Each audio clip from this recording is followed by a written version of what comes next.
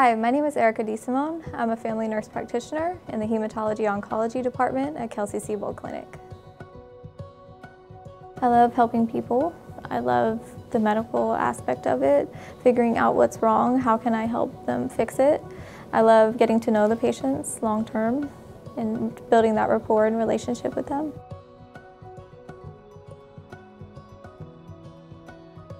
They value the employees. They're very patient-centered. They really uh, focus on efficiency and making sure that the patients that need to be seen can get in. The providers are available to the patients. I think that they have a great team ethic.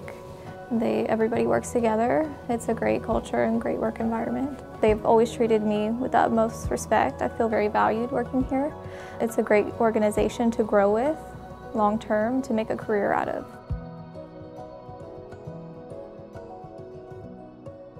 My philosophy of care is to follow evidence-based practice and to be patient-centered.